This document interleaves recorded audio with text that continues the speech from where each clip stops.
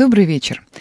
В студии Екатерина Романова и программа «Жажда жизни». Сегодня мы обсудим тему одного очень глубокого по содержанию и очень вдумчивого фильма, который сняла и э, придумала э, моя гостья Ольга Синяева, автор и режиссер фильма «Блев» или «С Новым годом». Здравствуйте, Оля. Здравствуйте, Екатерина. Здравствуйте, товарищи.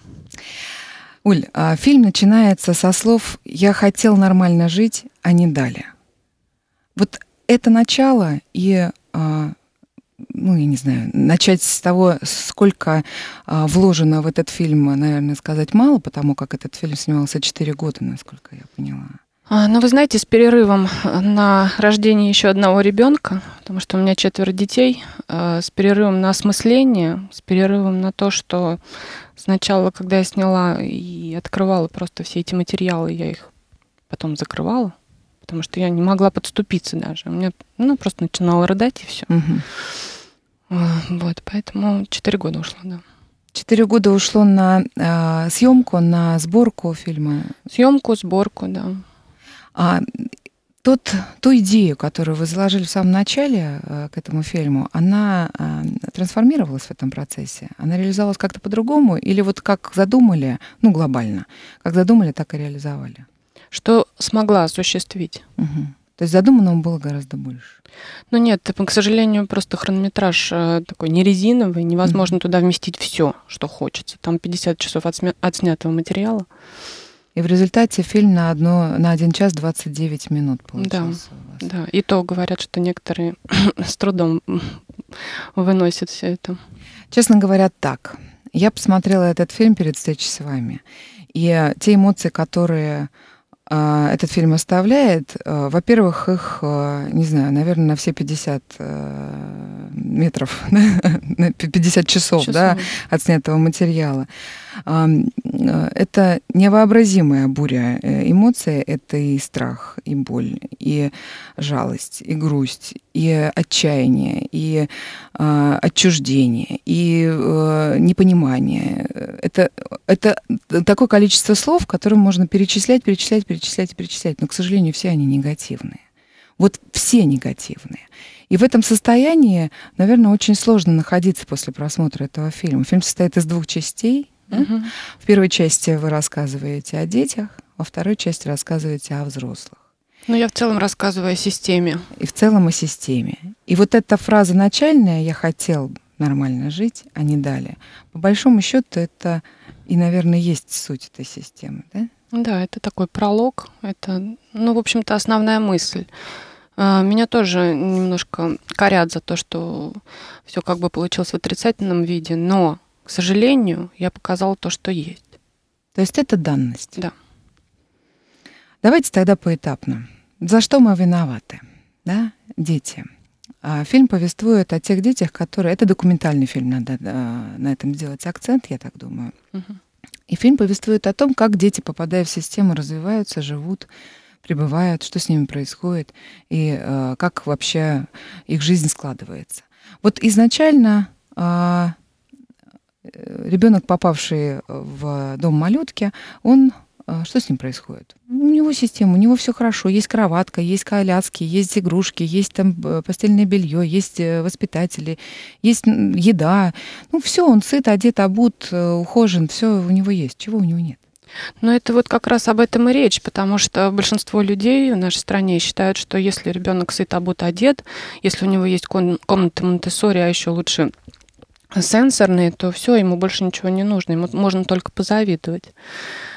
И моей целью было как раз вот разрушить этот стереотип, потому что э, ребенок, попадающий в учреждение, да, лишается самого главного на самом деле, э, за счет чего развивается маленький э, детеныш, да. Угу мозг э, ребенка к двум годам достигает мозга взрослого человека, и в нем происходит очень много э, таких связей, которые возможны только при контакте э, с вот главным, значимым для него взрослым, неважно, мама, бабушка, но чтобы это был постоянный человек, который будет постоянно под него подстраиваться, он будет под него подстраиваться, он будет учиться всему от этого только человека, не от игрушек, не от сенсорной комнаты, Нет воспитательницы. Нет, но воспитательница это отдельная история.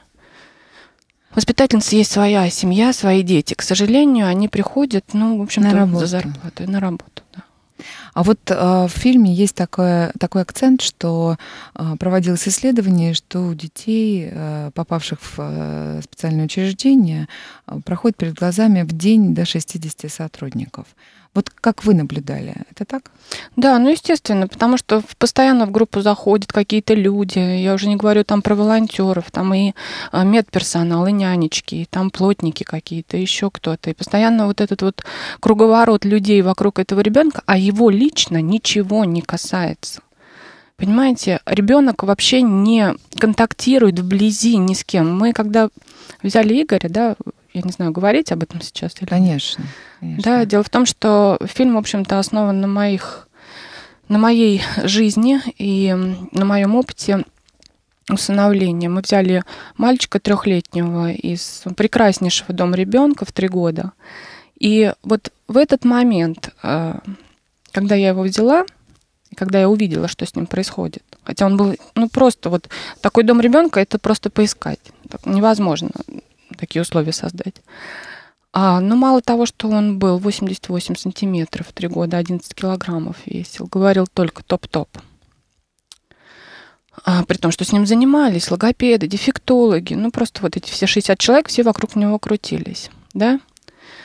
А, ну, это страшно было, потому что он бился головой об стену, он раскачивался вот так вот. А, он, знаете, кто был для него мамой? Мамой была подушка. Он нализывал мокрое пятно на этой подушке, утыкался в нее носом, только так засыпал. То есть вот какой-то, хоть какой-то человеческий запах. Вы даже не представляете, как пахнут дети в учреждении. Они пахнут, как какие-то старые куклы, которых достали, вот, я не знаю, с как тряпки, да? Да. И они вообще не похожи на детей. То есть они абсолютно деревянные, понимаете? Они все замороженные. Он находился до года и двух в больнице. До трех лет он находился в этом доме ребенка. Но поскольку, поскольку у него был условно ВИЧ, угу. это вообще отдельная история, потому что там вот, к сожалению, не смогла снять, но очень хотела. То есть это можно было только снимать, знаете, белые двери, руки в перчатках. В резиновых перчатках, которые подходят там несколько раз в день, делают ребенку укол, подкладывают бутылку. Все, на этом заканчивается. И, естественно, он вообще не видел никогда вблизи человеческого лица. Понимаете, что это такое? Нет. То есть он нас все время трогал. Вот лицо трогал. Потому что когда он раскачивался, я его брала на руки, чтобы его укачать.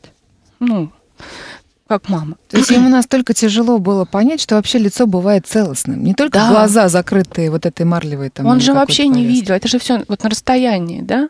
То есть, а вот тут вблизи он унюхал и увидел просто человека рядом с собой, понимаете?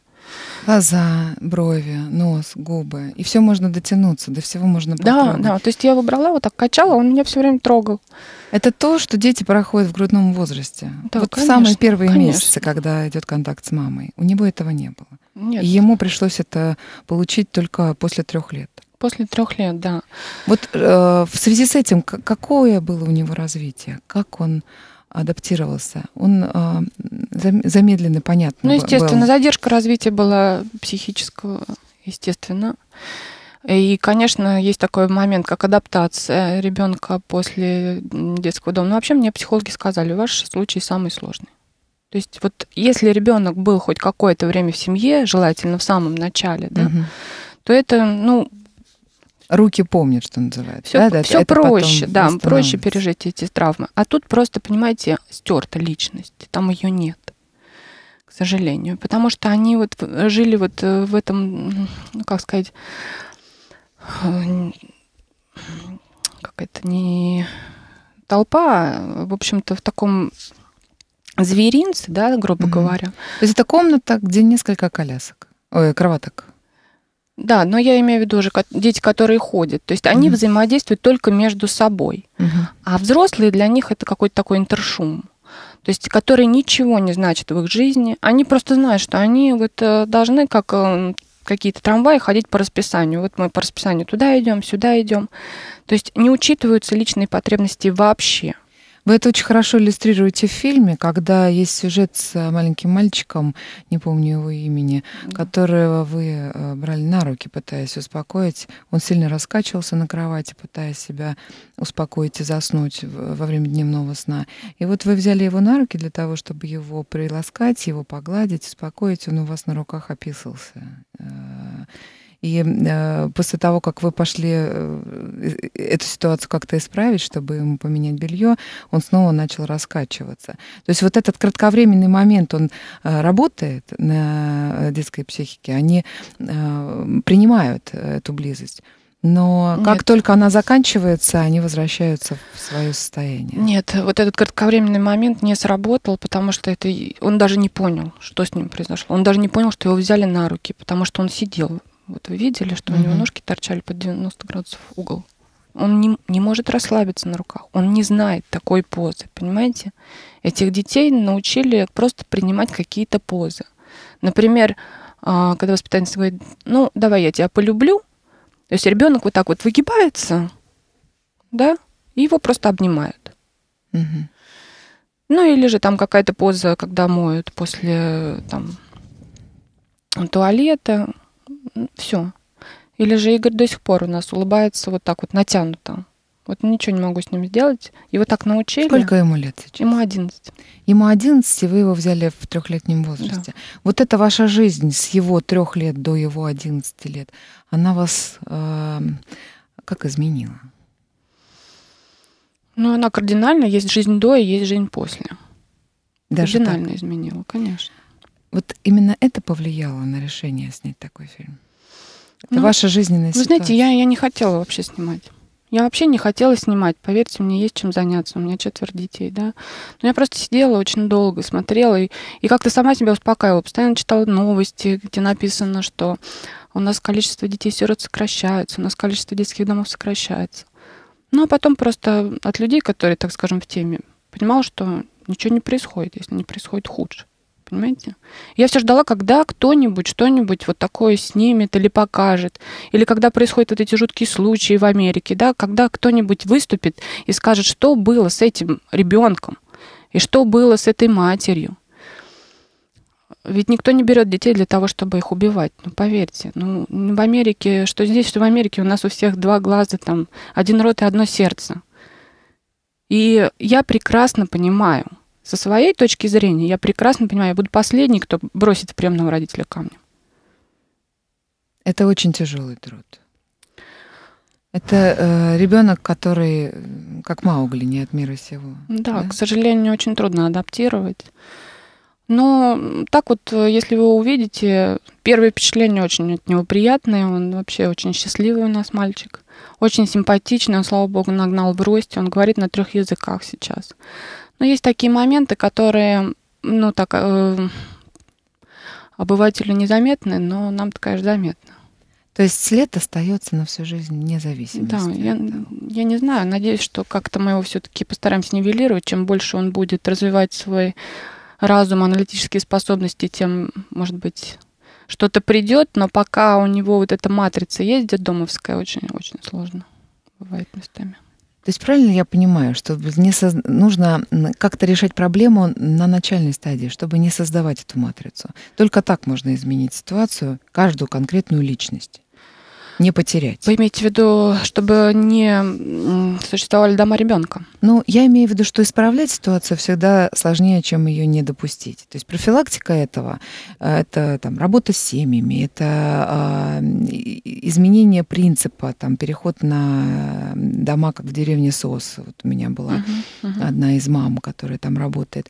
Это э, создание вот таких комьюнити семейного типа. Да? Uh-huh. Это какая-то э, работа Э, по предупреждению э, э, нельзя сказать слово выбрасывание, не могу при, применить это слово, но отказа да, от детей. Вот всеми этими вещами надо заниматься вплотную, в первую очередь, для того, чтобы не, не создавать вот эти вот раненые личности. Да все что угодно, лишь бы не было вот этого массового воспитания, вот этого интернатного воспитания, особенно в раннем возрасте.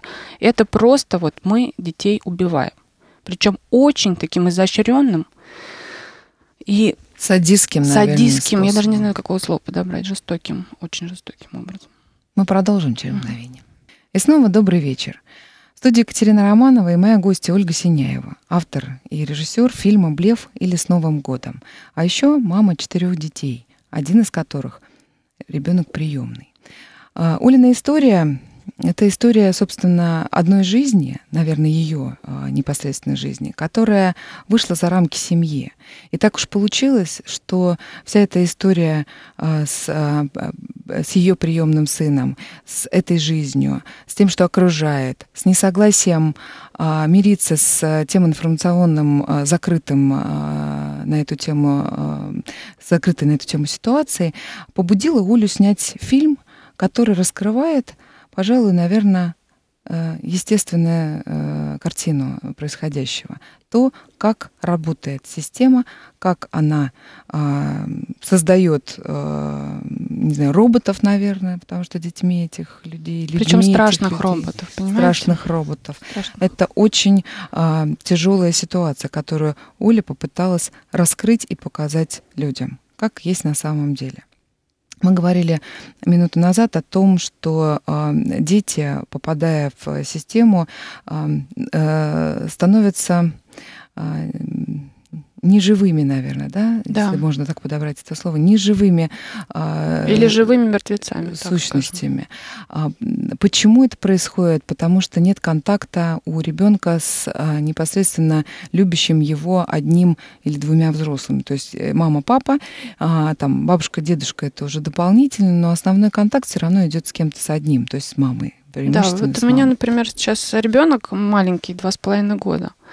И вы понимаете, вот э, весь мир э, вертится вокруг нее, так получается. Все вокруг нее ходят, и все Вся семья. Да. И вся семья ей все время говорит, какая она, понимаете, какая она хорошая, и такая вот, это сделала правильно или нет. И вот в этом ежедневном контакте, когда миллионы вот этих связей создаются, прикосновений, каких-то замечаний, вот они формируют личность. Понимаете? А у ребенка в доме ребенка его называют по фамилии. И, и с ним не просто не, не контакт, ограничивают контакт, специально ограничивают. Я в вашем же фильме слышала интервью воспитательницы, которая говорила, а как иначе? Вот их у нас там 15-20. Я, И не хватает рук, не хватает сил, не хватает времени для того, чтобы с каждым проконтактировать. А начинаешь, и тогда возникает цепная реакция. Он хочет больше, другие ревнуют, хотят тоже, а ты один. Это сломать нельзя? А, Это можно сломать, да? Нужна просто воля политическая, как у нас. Именно стране. политическая. Однозначно. То есть это можно изменить только одним способом, убрав как, как явление а, системные учреждения. Ну, как явление, это убрать, э, к сожалению, явление, которое поставляет сирот, надо убрать для начала, да. У нас страна, э, которая, знаете, да, находится на первом, на первом месте в мире по количеству богатств, так скажем. Мы самая богатая страна, даже на душу населения, если По ресурсам, Да. По зарплатам олигархов, доходам. Но да? это мы пока не возьмем. Ну, вот так вот, в принципе. Мгм. И, э, по-моему, мы находимся на 72-м месте в мире по расходу государства на население. Я не говорю, что нужно все отнять и поделить между всеми, да, но когда в богатейшей стране 56% э, живут на зарплату ниже прожиточного минимума, из них 65 вообще просто за чертой бедности. Вот это и есть. Это бесконечная фабрика сиротства, которая поставляет. Я уже не говорю о том, что вообще семья рушится, так, да, посмотреть наш, э, наши каналы, наш телевизор, который формирует э, мнение у людей. То есть То есть то, что вы поняли, снимая этот фильм, что одна из причин это нищета. однозначно, Нищета в стране. да. Вторая причина это вытекающая, грубо говоря, из первой, это а, алкоголизм, а, Алкоголизм, это безнравственность, безнрав- безработность, и безработность все, и что все, вытекает. все же. социальные болезни. И это формирует вот тот объем брошенных детей, которые у нас в стране живут. Конечно, конечно. Но самое ужасное то, что люди вот э, сами, представьте, даже из нормальных семей, более-менее, но им просто нечем кормить детей. Они сами ведут своих детей в дома ребенка. У меня был такой вот на глазах случай, когда значит, папа дальнобойщик, у него умерла жена, ну и что? У него еще двое детей. Двое детей старших, они как-то могут сидеть дома без мамы, без папы. А младшего он отдал в дом ребенка. Но он же не может. Это дальнобойщик, значит, это несколько дней да. с ночами. И он не может. И никто ему не может помочь. И все, я ему, я ему объясняю, вы что делаете, вы понимаете, вы его ребенка, своего ребенка не узнаете потом, это будет не ваш ребенок. Ну что он делает, что мне делать? Я рыдаю и все, больше ничего. Это тоже одна иллюстрация. Вы показываете в фильме женщину, которая, у которой отобрали ребенка, женщина, которая э, употребляла спиртные напитки, mm-hmm. видимо, в больших количествах раз отобрали, у которой, э, ну вот, страшная и ужасная, и, наверное, какая-то непостижимая ситуация, когда при всем том, что она встала на нормальный путь, при всем том, что она нашла силы в себе отказаться от алкоголя, закодироваться, начать жизнь, э, грубо говоря, в, нормальном течении э, жизни, но она, приходя к своему, э, к своей дочке, живущей в доме ребенка, уже не имела тот контакт, уже этот контакт был потерян. То есть ребенок, попав в систему даже на месяц, даже на три месяца, он уже черствеет, коченеет, Да, вот то есть вы видели, застывает. да, то, что она просто как деревянная она ее берет, а ребенок просто вот как деревянный. Нет весь. эмоций. И Антон спрашивает, что с тобой, Настенька? Ну что случилось? Почему? Я же мама твоя, я пришла к тебе, я, я люблю тебя, давай я тебя обниму, давай я тебя поцелую. А ребенок висит на руках вот так вот, как кукла. И руки в стороны расставлены, и ноги э, висят, и, и лицо отрешенное. Абсолютно отрешенное, отрешенное лицо. Это вызывает не то, что холод, это, не вызывает, э, это, это не, непостижимо, необъяснимо. Почему это происходит в этих учреждениях? Там же люди, там все окружает, все вроде бы по фильму э, они заботятся, они э, такие, ну, понятно, работа, но тем не менее. Это на самом деле немножко показная история, да? Нет, это не показная. Это То вот... есть там действительно это... нормальные, добрые люди работают? Нет, нет, нет. Замечательные люди, особенно в доме ребенка. Я, я им только вот, понимаете, могу посочувствовать единственное, что. Потому что вот я сама попробовала там поработать, это невозможно. То есть это надо либо лечь, я не знаю, там на пол, и они все на тебя заползут, и, и вот так лежать целыми днями. Потому что они как пустые батарейки, им вообще надо напитаться всем этим. И вот, если честно, у меня самое жуткое было ощущение, вот это был когда Новый год, и воспитатели там ушли переодеваться, я осталась с ними одна, и как раз им раздали вот эти конфеты, подарки, да. Как они их ели? А, как они их ели, это отдельно. Но дело в том, что они потом на меня вот так пошли, а я сидела как раз на полу, и вот они идут, вы знаете, абсолютно холодные, безэмоциональные, такие как зомби. Идут и говорят, тетя, дай конфетку. Это, это ужасно страшно. Это маленькие дети, трехлетние, понимаете? То есть у них э, какая-то средняя по группе температура тела. Ну да, ну у них у просто ампутирована душа, холодно, понимаете? Им не жарко. Они э, не хотят есть, они едят только по расписанию, они в туалет ходят только по расписанию. У них вся жизнь структурирована и структурирована не ими самими. А да, они людьми. не понимают, что они хотят. Вы понимаете, у них нарушается вообще контакт с собственным телом. Они не понимают, когда им холодно, когда им больно, когда они хотят в туалет, потому что все за них решено. Они не могут это, об этом никому сказать. Они не могут сказать, что они вот хотят наесться сейчас, вот что-то им что-то где-то жмет. Они ко всему привыкли. Вот Игорь, например, до сих пор, у него такая очень низкая чувствительность. То есть он, он до сих пор очень многого не понимает. Он может ходить там на лице, у него может быть грязь, он не чувствует. Это вот эта фраза «кусок хлеба, как шоколадка». Вот э, э, я увидела, что дети не могут наесться.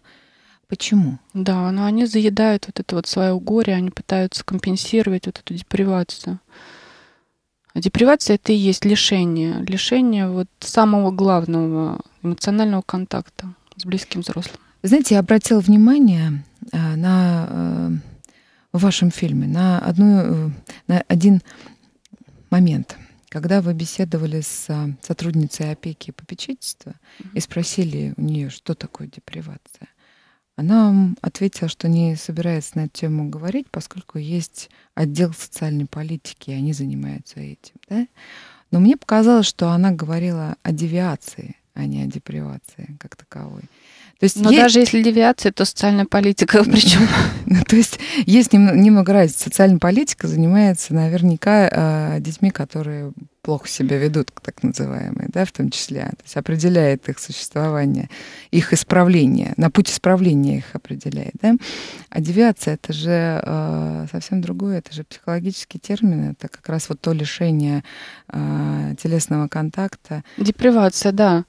Это отсутствие э, развития личности, это больше смысл, чем она в него вкладывает.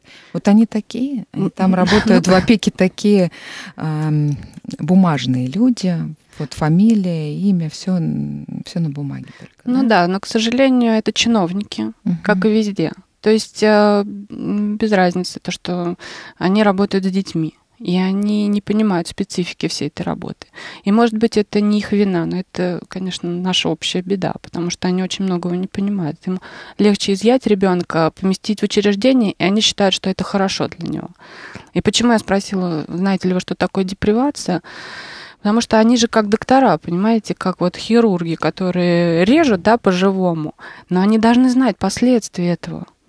То, что они делают, и... Э... А что будет за этим, да? И что а будет, какая да? будет фантомная боль? Угу. А какая будет э, перераспределение там, э, способностей и возможностей организма? Они обо всем этом не думают, дал, принял. Да. Отпустил. Да, им, им самое главное, в общем-то, снять с себя ответственность. А те люди, которые работают в домах малютки, в детских домах, они же со всем этим живут, с этими людьми, они видят их каждый день. Но это невозможно. Если ты будешь каждый раз вот с таким вот распахнутым сердцем э, приходить туда, то очень быстро перегоришь. То есть, то есть возникает профессиональный цинизм. Да? Ну, Без да. него невозможно. Ну, да, да. А как исправить ситуацию? Ну, во-первых, э, я считаю, что э, дома ребенка это вообще надо просто исключить. Просто надо людям всем понимать, что это концлагерь, где маленькие дети отбывают свое детство и с тяжелейшими последствиями, просто с катастрофическими. Что за этим стоит дальше? После дома малютки они попадают после трех лет. Да. да? Кроме того, они, они все время идут по ребенка. этапу. Да, то есть мало того, что у них, э, даже если вдруг какая-то сформировалась привязанность хоть к кому-то из воспитателей, это все время все обрубается. То есть из одной группы в другую, из, одно, из одного учреждения в другое ну, в общем, как картошку их, понимаете, сортируют, и они уже, конечно, они уже не чувствуют ничего, они уже не умеют ни любить, ни сострадать, и не понимают вообще никаких человеческих чувств. Именно это ведет к тому, что вырастая уже в, э, во взрослое состояние к 18 годам, они все э, преимущественно проходят через колонию. Ну, можно сказать, не все, но то, что, конечно, проблемы у них с социализацией огромнейшие. И вот это вот асоциальное поведение это не результат ген, ген, генов каких-то угу. плохих ДНК. Это вот именно результат вот этой депривации в раннем возрасте, потому что они не умеют понимать человеческие чувства, они не понимают человеческих эмоций. Ну, я же вам говорила, да, то, что ребенок никогда не видел человеческого лица. Откуда ему догадаться? То есть они, соответственно, э, нарушают все время какие-то границы, они идут на конфликт. Вот это вот перенесенная депривация ведет к агрессии. И, в общем-то, в раннем возрасте вообще у ребенка из-за того, что у него постоянный страх, вот этот вот страх и непонятность, что с ним будет дальше, у него просто отмирают клетки мозга определенные, которые отвечают за эмоциональные ощущения, вот, за, за понимание вот этого. И все. И обратной дороги нет. Нет, очень часто необратимо. Мы продолжим через минутку. И снова добрый вечер. В студии Екатерина Романова и Ольга Синяева, автор и режиссер фильма «Блев» или «С Новым годом». Фильм, о котором говорим мы в сегодняшней программе, фильм, который не может не вызвать очень глубоких э, эмоций, связанных с негативными ощущениями, с негативными чувствами. И история эта документальная, история нашей жизни, история нашего государства. Это история о детях-сиротах, которые попадают в систему учреждений. И э, минут назад мы говорили о том, что все они идут по этапу, и их социализация формируется как раз вот этим путем от точки до точки, от точки до точки. И страшно в этом то, что они не имеют э, возможности получать тот необходимый набор э, ощущений и чувств, который формировал бы в них нормальную правильно развивающуюся личность. Вот с, этой, с этой потерей и с этим э, очерствлением они и э, живут дальше по жизни. Что с ними происходит? Что вот дальше? Ну, вообще, вот самая главная вещь в жизни, которая формирует человека, это привязанность. Да? Привязанность, вот она как стержень для личности. И если этого стержня нет, то если представить личность как пирамидку, все остальное распадается. Можно сколько угодно другое нанизывать, но вот этого стержня не будет внутри. И что с ними происходит дальше, ну, статистики у нас нет по этому делу, не ведется. Была какая-то статистика всего лишь 99 -го года, когда Генпрокуратура один раз оговорилась, то, что только 10% социализируются, 40% попадают в тюрьму, 40% становятся алкоголиками, наркоманами и погибают. 10% заканчивают самоубийством просто в первый же год после выхода из учреждения. Но э, поскольку, поскольку официальной статистики нет, вот общественники, в том числе Александр Гизалов, он подтверждает, что где-то только 10% от 7 до 10 более-менее как-то адаптируется к жизни. То есть правильно я понимаю, что когда заканчивается школьное обучение, вот 11 класс закончен, они выпускники, их поздравили как в школе, да, собрали все, всех выпускников. Ну до 11 редко кто там доходит, там нет такого, там в основном... Скорее всего, 9 да, класс, да, и ПТУ. Угу. То есть это еще и 14-15 лет да, в основном. Да. И все. И дальше они в этом возрасте, еще по сути, по законам нашей страны несовершеннолетним, но уже с паспортом, они в распахнутую вот эту вот светящуюся, как вы показываете в фильме «Дверь», как в коридор, да? Да. Как, как то, как мы представляем себе, как уходит душа куда-то наверх. Да? Да, так и есть. И вот в этот Все э, страшный, неизведанный, непонятный, потому что никто не объяснил, потому что все, что было в учреждении, было вот, вот, вот за них уже расписано, за них придумано. И э, они оказываются в ситуации свободы стопроцентной. И что делать? Ну, естественно, они приходят к нам.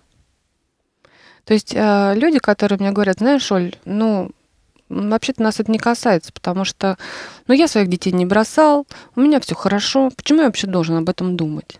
А вот именно поэтому. Потому что если вы сейчас не хотите думать о том, что вот рядом с вашим домом, а это, эти учреждения находятся просто вот рядом с нашими рядом, домами. Да. Угу. Что рядом с вашим домом вот существует концлагерь для детей, я по-другому это не могу назвать. Можно это не замечать. Можно вообще дальше жить спокойно своей жизнью. Но они, когда выйдут, они заметят вас. И тогда мало не покажется. Потому что таких людей, которые которых выращивает, выращивает система, да? эта система, называют отморозки. Понимаете? Вот, кстати, об отморозках. Почему это происходит? А, я для себя нашла одно откровение, которое я даже не могла себе предположить, что такое возможно, несмотря на то, что заканчивал медицинский вуз и психологический факультет.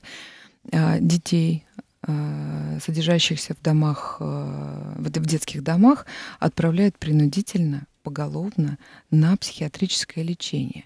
Причем герой вашего фильма настоящий герой, угу. а, живущий в этой жизни, это не придуманная история, да? угу. рассказывает о том, какое лечение там а, проходят эти дети. Аминозин, ну, скажем, скажем, галоперидол – это лекарства, которые подавляют волю, и без того уже системно подавленную. То есть это превращение человека в э, растение, в амебное состояние, когда нет э, даже противодействия никакого. А вы знаете, что такое сера? Вот он говорит сера, а аминозин галоперидол. Угу. Сера это вообще, то есть это ну, совершенно не лечит ничего, это просто парализует мышцы. Это понятно. Но я же говорю, превращение да. в, э, в, растение, в растениеподобное состояние. Зачем? Ну, просто их как-то нужно привести к норме, их нужно купировать. Естественно, у детей, которые находятся все время вот в этой закрытой, неестественной среде, любого человека туда помести, через какое-то время начнет ехать крыша просто-напросто. Потому что находиться рядом с какими-то э, постоянно людьми, детьми, и вот в этом жить, да, не имея никакого личного пространства, да, то есть они там все вместе в туалет ходят, не имея никакой, э, ну, как бы... Ну, личностного развития. Да, личностного да. развития, не имея ничего этого. Естественно, у детей, особенно в подростковом возрасте, начинаются проблемы с поведением. А э, ну вот как раз в этом периоде возникает девиантное поведение, которое да. и вызывает такую реакцию. Он неуправляем, с ним надо что-то делать, и а ну давай их всех укладывать в психиатрические клиники на лечение. Да, ну и при том, что это... Но даже не работает. Это зачастую даже не из-за того, что очень сильно плохое поведение, а вот, э, как, например, Андрей говорил, вот главный герой, которого mm-hmm. отправляли четыре раза в психушку, он говорит, ну просто вот э, директору надоели дети, он от них таким образом избавлялся, отдыхал, так скажем. Это, конечно же, не работает. Это только вредит и очень сильно, э, очень сильно токсичные эти лекарства. Они вредят здоровью, они вредят психике. Если вы видели, воспитатели рассказывали потом, что дети, в общем-то, ну, две недели они ходят как зомби, и потом с ними ничего не происходит в лучшую сторону. Ну, заканчивается последствия деяти, деятельности этих э, лекарственных средств, да, периоды полного выведения из организма. Да, из организма. И все возвращается, как будто ничего не было. Да, да совершенно верно. Потому что это, это, понимаете, это даже не вина а, значит, учреждений, это вина вот этой всей системы порочной, понимаете, вот, которая была придумана когда-то уже очень давно и до сих пор не то, что она существует, она процветать начала, понимаете, в чем дело. И ничего не могут сделать, ничего не могут ни общественники, ни фонды всевозможные, никак не могут растрясти вот эту вот э, ситуацию. И именно для этого я сняла этот фильм, чтобы, ну, в конце концов, ну, увидите уже это, что там происходит. То есть это, по сути, если говорить образами, это некая э, структура, которая э, составляет себя промышленную историю, да? То есть это, да, совершенно верно. Ну, не совсем торговля, но тем не менее какая-то странная э, организация приспособления детей в этом пространстве, да? Ну, это, как оказалось, очень выгодно еще. Выгодно финансово. Да, финансово. Вот вы приводите цифры в вашем фильме. Один ребенок э, по бюджету выделяется на него полтора миллиона рублей в год. Ну да, если в среднем считать. То есть, если вспоминать интервью там Павла Астахова от если вспоминать интервью Павла Астахова от 2011 года, вот он называл такие цифры от 300 тысяч до 2 миллионов рублей на севере Красноярского края. То есть в зависимости от региона там да. разная стоимость, да? да? Так. И ну, это немалая сумма. Это совсем, это совсем немалая сумма. Это даже с учетом того, что э, сюда входит там и жилье, там ремонт этого жилья и одежда. Не-не-не, это только на содержание. Только на содержание? Только на содержание. Ну, это же больше ста тысяч в месяц.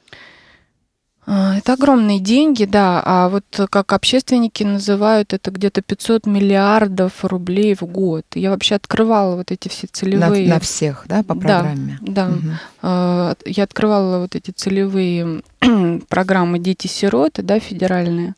Такие цифры, которые я понимаю, что я даже не знаю, как произнести. А в реалии? Ну, а в реалии мало того, что вокруг этих детей еще постоянно куча спонсоров крутится, да, которые mm-hmm. все время подсовывают там все что угодно.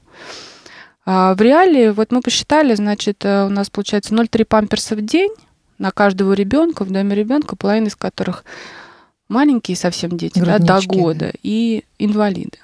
0,3 памперса. И в рублях это 77 рублей на ребенка в день. 77, да. В одном регионе, не буду называть, а, значит, э, директор дома ребенка написал письмо, что невозможно детей прокормить на 55 рублей. Вот, ее, что, уво... ее уволили. Ее... ее уволили, и я просила об интервью, но она настолько, ну, просто попала в больницу после этого. Одна из воспитателей, которая в вашем фильме давала интервью, сказала, я нужна государству только на выборы ходить. Это другая зарисовка этой же истории. Те люди, которые работают в этой системе, в таких учреждениях, они-то нормальные. Ну, очень сложно, конечно, там оставаться нормальным. Естественно, они выгорают, естественно, они выстраивают какую-то собственную защиту. Но это просто от отчаяния, она сказала. Они в ужасных условиях. И все люди, можно сказать, в Средней России, которых я встречала, просто в ужасных условиях находятся сейчас. И зарплаты те, которые в этих учреждениях, они такие же самые низкие по стране. 4-7 тысяч. Просто рублей. нижайшие нижайшие. Они на эти деньги вообще не способны просто даже выжить. Когда они начинают это рассказывать, и причем со всеми. Я просто уже не могла все это собрать в фильм, потому что начинаешь э, разговаривать о детях, и все съезжает на, на их уровень, на том, что они все находятся в, такой, в, таком же, в такой же ситуации. Да я вам больше скажу, я сама в такой же ситуации нахожусь, при том, что я, э, в общем-то, обеспеченная, там, москвичка и так далее. Потому что у меня четверо детей, да, и муж, слава богу, да, который крутится как сумасшедший и пытается нас обеспечить, но вдруг, вдруг вот не станет. Ну, все под Богом ходим. Угу. Мне государство платит 4 тысячи рублей. То есть это... На четверых? На, на ЖКХ отдать даже не хватит. Понимаете? И что дальше мне делать? Кто меня возьмет на работу с четырьмя детьми? Вот. Вот То есть многодетность нашей семьи стоит под угрозой именно из-за того, что нет э, социальной работы. Недостаточно нет понимания этих проблем. Да просто нет поддержки. Вы понимаете, вот если, например, моих четырех детей у меня заберут и отдадут кому-нибудь, вам, например, под опеку, вам будут платить по 20, 20 тысяч рублей на ребенка.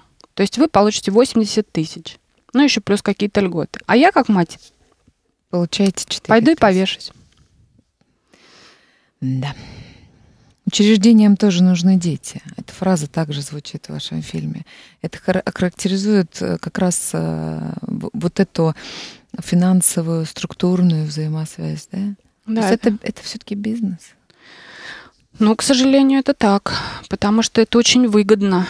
Естественно, дети не спросят, где наши деньги, да, а выделяются ежегодно и прокручиваются колоссальные средства, и ничего в итоге не решается, потому что и интернаты держатся за этих детей, и я не знаю, там уж какое руководство, кто там, где, чего это все делит и пилит, но факт в том, что до детей практически не доходит ничего, проблема не решается, и все остается на том же месте, если не хуже. Значит, вводятся новые законы, которые все больше и больше закрепляют детей в этой системе, и они, соответственно, вырваться оттуда не могут никуда. То есть э, невозможно уже дальше идти вперед с такой э, ситуацией. Нужно что-то сделать, чтобы развернуть ее в другую сторону, чтобы изменить именно это э, желание вас, э, наверное, заставило э, обратиться к такой форме, ну, поскольку, ну, безусловно. поскольку вы журналист и э, имели и режиссер по образованию и имели такую возможность. Вот чем могу, да? Достучаться, ну, чем ну, могу. А как, а как достучаться? Вы пришли, вы начали заниматься этой темой, вы пришли и увидели, что страх и ужас что дети э, деревянные, что воспитатели э, нищие. Деревянные. И со временем деревянные, даже приходя в эту систему, люди становятся.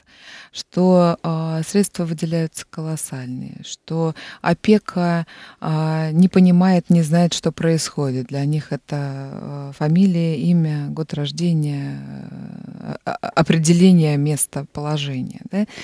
Что э, дети э, с возрастом погибают, э, выходя из этих учреждений, не могут адаптироваться, что нарушение личности такое, что не восстанавливается до конца даже за всю жизнь, не может восстановиться, потому что в вашей практике... Да, и никакой любовью и да, ничем уже не, не изменишь. Э, уже с трех до одиннадцати лет, это восемь лет э, ваш приемный сын живет с вами и получает весь тот контакт, получает всю эту материнскую любовь, но тем не менее это не, не работает до конца, не исчерпывает. Самое важное... знаете, как говорят, после трех уже поздно. То есть вот, вот... К сожалению, мы упустили самый важный период его развития. Но тем не менее, конечно, я просто сделала этот фильм, немножко так прикинув э, ситуацию, если бы Игорь не попал в семью, а он уже, у него уже была путевка в детский дом, я его прям перехватила. И что бы с ним произошло, если бы он не попал в семью?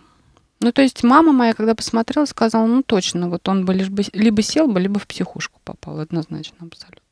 И ведь попадают. Ну, естественно. Вы видели этих людей, которые лежат в психиатрической, уже взрослых, да? Выпускников детских домов. Ну, я в саму психиатрическую лечебницу не попала, но видела, да, после. А как проходили съемки фильма? Вот э, были какие-то барьеры, что-то мешало да, получить без... истинную картину? Безусловно, мешало, но я могу сказать то, что это вообще фильм состоялся только благодаря моим личным связям. А по-другому бы ничего не получилось. И я, конечно, благодарна всем моим друзьям, которые откликнулись, помогли. Это и Радио России, программа «Детские вопросы», и просто даже друзья детства, Илья Юров, который сделал все, чтобы этот фильм э, состоялся. Потому что я с этой бедой к ним пришла. Я, на самом деле пыталась э, и там и президенту я писала, и руководство нашего Первого канала писала. И они даже откликнулись, и, в общем-то, мы даже начали что-то такое делать. Но я поняла, что у нас вообще разные задачи, понимаете? Потому что я им про депривацию, они мне говорят, вот, знаете, нам нужны такие вот истории, там, четыре... Отмонтируйте, да? Четыре положительных, там, две отрицательных. Угу. Ну, вот все своими дурацкими этими историями придумывают. Поэтому я пошла своим путем, и а, когда я приезжала, да, там просто в учреждения, в которых не было у меня этого личного контакта, там, конечно, очень-очень все напрягались. И самое интересное, например, а, разрешали снимать там и детей, и разговаривать с детьми, но когда я подошла а, к бабушке, которая сидит на вахте, угу. прибежали все и директор детского дома, и опека, и все вокруг на меня. Я думаю, а что такое? Я говорю, ну, понимаете, ну, театр начинается с вешалки. Uh-huh, вот я просто uh-huh. хочу с человеком... Что-то такое может там через нее, значит, просочиться, понимаете, что меня Всех нужно срочно, да, оттуда, да? Давайте мне директор, давайте я вам расскажу, угу. ну давайте это, ну. Ну, то есть э, от, откровенную правду, наверное, да, потом до конца и не удалось э, получить. А, ну, я так думаю, что достаточно удалось, по крайней мере, по рассказам, по разговорам, которые я знаю, я все-таки э, зацепила основное. И я помню, это, эта директриса этого детского дома сказала, что вы понимаете, у нас, конечно, не тюрьма, но у нас закрытое учреждение. Вот, вот это вот основной такой постулат, вот это то, что у нас закрытые учреждения, а вы понимаете, да, что что там творится за этими стенами, никому не известно. Но, тем не менее, фильм получился. И фильм очень серьезный. Э, час 29 минут, разбитый на две части, и досмотреть до конца сложно. Вот лично я, смотря этот фильм, э, порывалась несколько раз остановить его и, это невозможное обилие чувств, э, которые просто вот пережить даже тяжело. Как вы думаете? Я сочувствую. Как вы думаете, люди посмотрят? Смотрят. Смотрят. И вы знаете, как, как ни странно, и еще и говорят очень много спасибо. Что открыли глаза? Нет, вы знаете, я думаю, что люди, которые немножко в курсе были, немножко в теме, они говорят, что мож, может быть в конце концов вот с этого что-то изменится. Потому что вот существует такое у людей понятие, что если ты не увидел чего-то своими глазами, то этого якобы не существует. И нет, да. да. И мне очень сложно было, очень много людей, да, там и учителей, объяснять, что с Игорем. Ну, я просто устала уже от этого, понимаете, всем объяснять. И на меня так смотрят немножко, так, ну, со странностью, думаю. Угу. Нет, вы понимаете... Ну, сын страны, и мамаша у него да. такая же, да? да. А вот фильм вы показываете уже кому-то? Где его можно посмотреть? Да, я его потихонечку так показываю. Вообще премьера намечена на 18 декабря в РИА Новости. А, мы его Понимаете, он от меня уходит. Я его еще не демонтировала до конца, но он уже как-то хочет уже своей, своей жизнью да. жить. И он уже поехал по городам? Да, причем Вы показывали, да? да? Какая реакция? Что э, говорят люди, посмотрев? Ну, мне, мне лично, конечно, очень приятно то, что говорят, что все в десятку, и что очень правильно расставлены акценты. А, есть люди, которые, конечно, не выдерживают и не хотят, в общем-то, поверить в это, и мне их просто, ну, как бы жаль, я понимаю, что это, это очень тяжело переварить, потому что есть свое какое-то мировоззрение и стереотипы, которые сложились, и ты вдруг видишь, что на самом деле все не так. Ну и, конечно, вот это чувство вины, которое все начинают сразу друг на друга переваливать, потому что я не виноват. И у человека первое, что пробуждает это, этот фильм, это, в общем-то, совесть, которая задает ему, видимо, какие-то неприятные вопросы этому человеку. И человек пытается как-то от этого уйти и защититься. А что ты сделал, да? Да. Вот. И... А ничего. А ну, я не виноват. Я не виноват. А чиновники видели этот фильм? Кому-то показывали? Ну, тут, конечно, все гораздо сложнее, потому что многим отправили, и вроде бы даже как посмотрели, но тишина. То есть вот у нас, я так думаю, что либо, если эта волна пойдет, то только сверху, вот, или совсем снизу. Я уже не знаю как. Снизу массово, да? Да. Специалисты из детдомов видели? Вот те, кто там работает непосредственно, где вы снимали эти сюжеты? Вы им показывали? Нет, им я еще не показывала. А видели просто специалисты, видели психологи, неврологи. И вот это вот, конечно, самое шокирующее, то, что люди, э, специалисты, профессионалы, они не представляют, что происходит с детьми, ни с маленькими, ни с большими. То есть вы по большому счету им открыли глаза? На вот эту ну, вот, на полную картину, да? От, да. От начала истории до ее окончания, от начала жизни э, в системе до там, физиологической или фактической или идеологической смерти личности. Ну да, да в общем-то так. Как вы думаете, достучаться можно до небес? Ну, я не знаю. Вы, может быть, подскажете мне, что мне сделать? Я не знаю, там на Красной площади, может, что-нибудь прибить. Я уже не знаю, что нужно сделать, что, чтобы вот Кому на это показать, обратили да? внимание. Ну, что мне нужно сделать? Почему нужно посмотреть этот фильм? Ну, во-первых, потому что это рядом с вами. Это просто вот буквально такие в шаговой доступности, так скажем, существуют. И я, например, когда еду из своей новой Москвы уже в старую Москву, я проезжаю там один а, психоневрологический интернат, один детский дом, один дом ребенка. И я каждый раз, вот понимаете, я вот смотрю, как люди мимо этого спокойно проходят, как мамашки там играют с детьми, рядышком совсем прям на площадке. И я понимаю, что ну, это невозможно. Это невозможно, чтобы это существовало сейчас, в 21 веке, вот тут вот рядом с нами, с благополучными людьми. Просто так жить нельзя. И надо начинать что-то делать. Честно признаюсь, мне сегодня было нелегко говорить с Ольгой, потому что я нахожусь, и сейчас еще нахожусь под впечатлением от просмотра этого фильма. Я его посмотрела сегодня, буквально за час до нашей встречи.